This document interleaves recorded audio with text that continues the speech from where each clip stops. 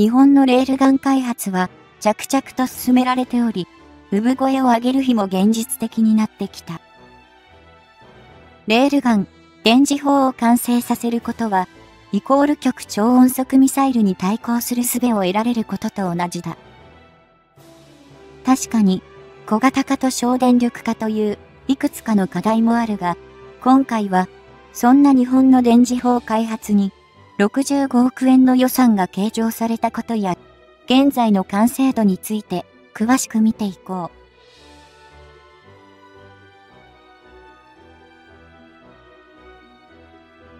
電磁力を使い、ハイパーソニッククラスのスピードで弾を発射させるレールガン。これが、防衛省では、2022年度防衛予算において、研究開発費に65億円を計上することを決定した。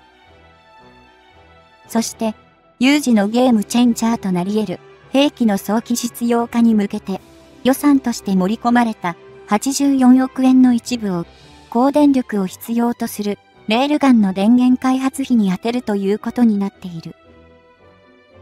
このレールガンは、2027年をめどに試験運用を開始する予定であり、 Electro、Magnetic、Launcher を略して EML と呼称されており、和製表現としては、電磁投射砲や電磁加速砲として、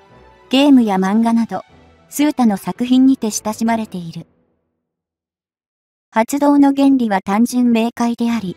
電気伝導の良好な素材で作られた2本のレールの間に玉体を置き、レールに電流を流して磁界を発生させて、玉体を移動させて発射するものになる。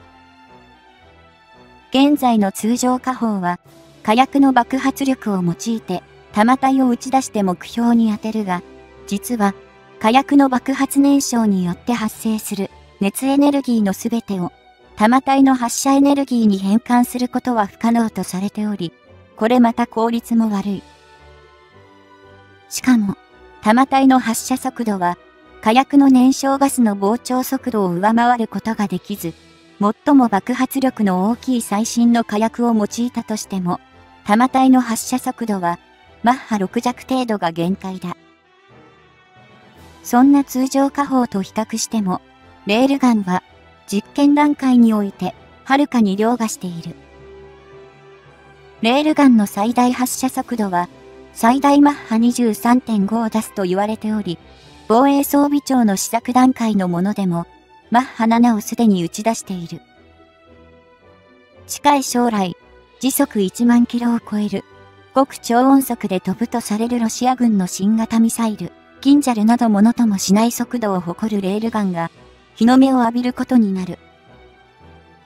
アメリカ海軍の研究発表によると、レールガンは実質 200km 以上の長射程射撃をも可能とし、これは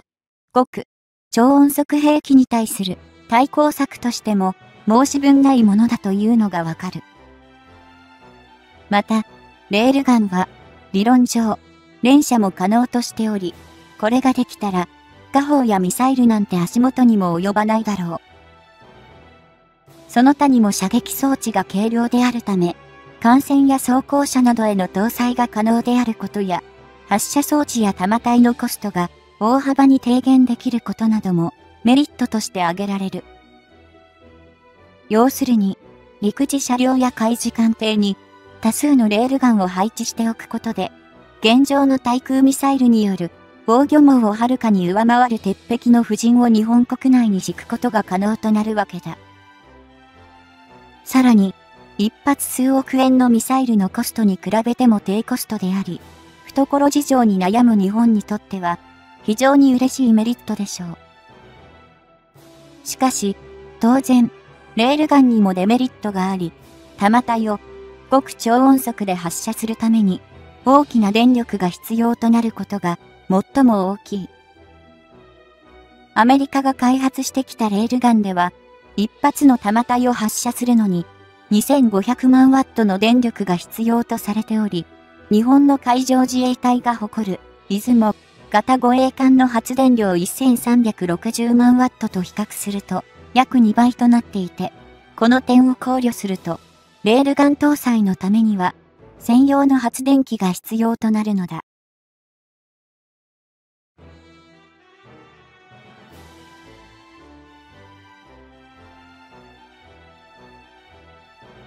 この点において、アメリカ海軍の原子力空母、ニミッツ級はクリアしていて、同艦は4000万ワットという膨大な発電量を誇っており、レールガンの連続発射もできるわけだ。また、スムウォルト級駆逐艦も、統合電力システム IPS を採用しているため、その発電量は8000万ワットと言われており、実用化するにも現実的な数値である。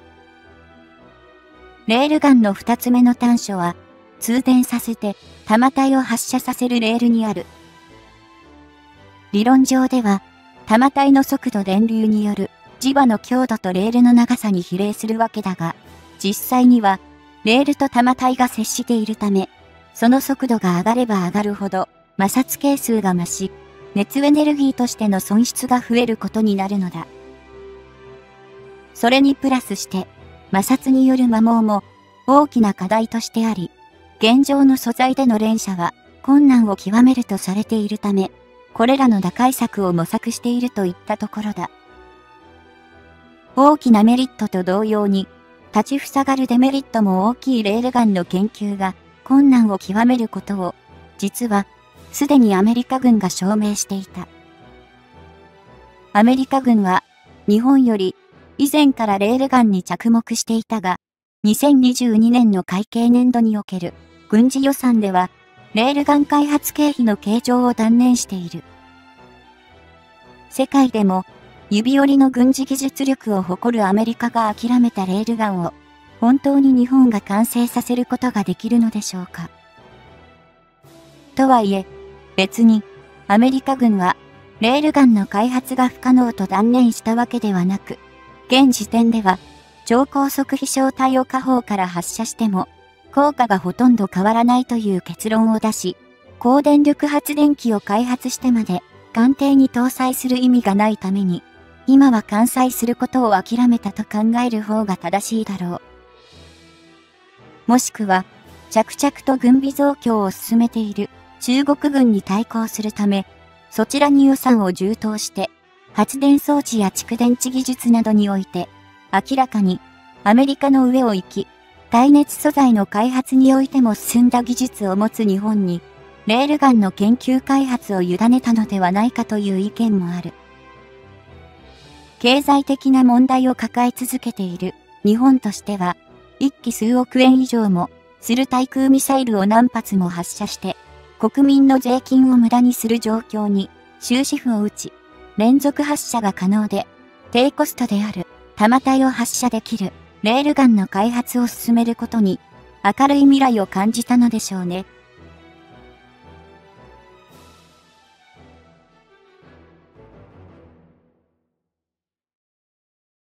ちなみに、日本のレールガンは、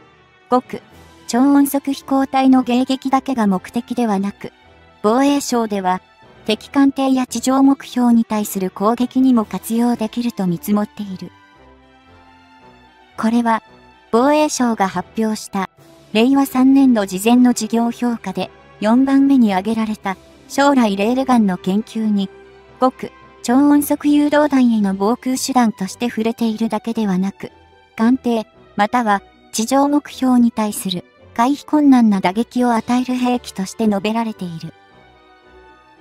その本文を見ると、レールガンから発射される高速度弾丸により、艦艇を犯せてする構想図も掲載されており、確かに、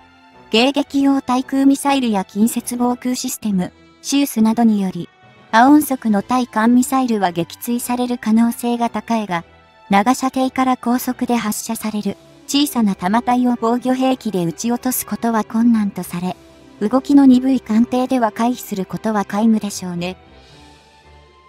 そして、レールガンから発射された弾体は、着弾しても起爆しないため、今のところ、目標を貫通するだけだが、小さな弾体でも、極、超音速の連射ともなれば、大きな火穴を開けて、艦艇の底から水が入り、一気に沈没させるだろう。